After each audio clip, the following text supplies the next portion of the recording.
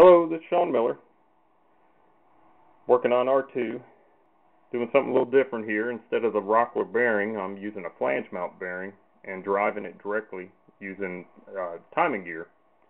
A couple timing gears. My goal is to have no mechanical sound, just the sound of the motor.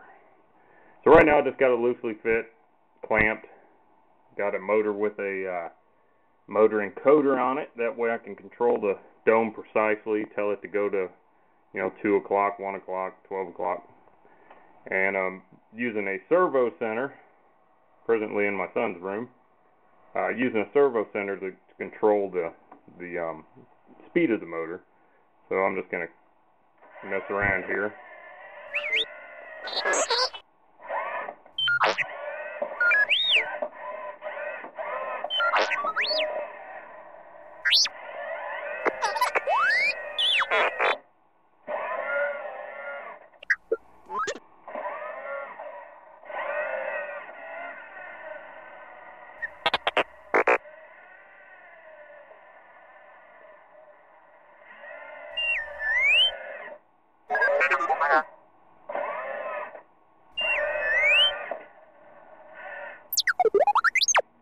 So you can see it spins pretty good.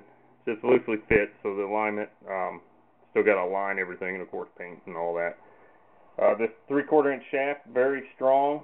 Going to use it to actually mount some things. Hopefully, be able to use it as a servo mount as well, so I don't have to uh, uh, fix it everything to the inner dome. So just thought you guys like to see that one.